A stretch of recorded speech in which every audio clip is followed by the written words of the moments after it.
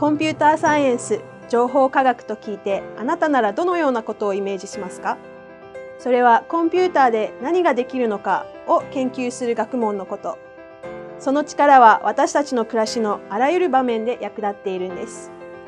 例えば好きな音楽の関連性からおすすめの曲を教えてもらう。たくさん撮りためた写真からあの人の笑顔を瞬時に見つける。目的地までの最短ルートを探す。コンピューターサイエンス情報科学はあらゆる人の興味や関心とつながっているんです。だからもっとたくさんの人に知ってほしい。そんな思いからマインド・ザ・ギャップは生まれました。現役のエンジニアによる講演や体験型ワークショップを通じてコンピューターサイエンス情報科学をより身近に感じてもらうためのプロジェクトです。まずは実際の講演とワークショップの様子をご紹介します。体験会において大切にしているのはコンピューターサイエンス情報科学を身近に感じていただくことです。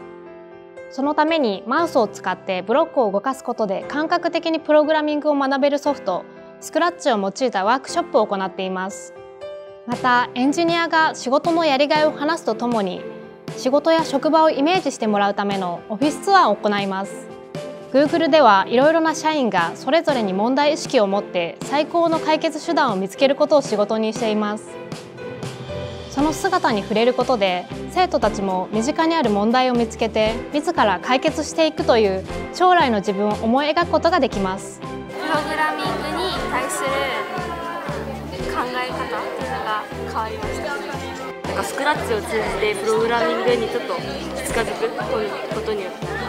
ああこんなに簡単だったんだみたいな。自分でもできそうだなって思いました。こういうコンピューターとかプログラミングを使った仕事もあいいなっていうなんか将来の選択肢がちょっと増えたっていうか Google で活躍している社員たちも今話をしてくれた高校生たちと同じように最初は小さな興味からスタートしました